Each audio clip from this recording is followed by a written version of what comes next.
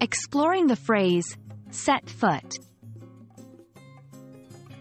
Hello learners!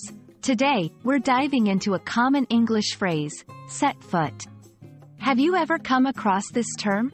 By the end of this video, you'll understand its meaning, usage, and significance. Let's get started.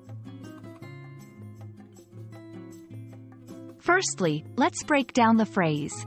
Set can mean to place or position something, and foot refers to the lower extremity of the leg. But, when combined, the phrase set foot doesn't just talk about placing one's foot somewhere. In English, set foot is often used idiomatically. When someone says, I haven't set foot in the library for years, they don't mean they haven't placed their foot inside. What they're really saying is that they haven't been to or entered the library for a long time.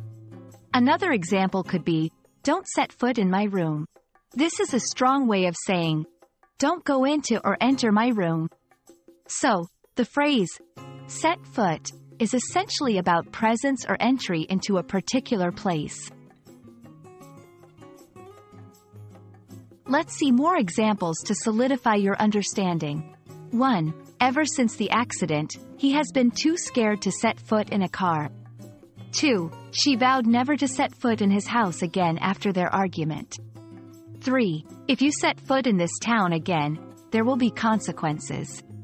Each of these sentences demonstrates the idea of entering, being present in, or avoiding a particular location.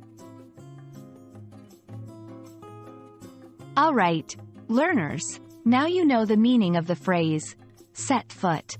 It's a handy term to understand and use, making your conversations more fluent and natural. We hope this video has been enlightening. Keep practicing, and until next time, happy learning!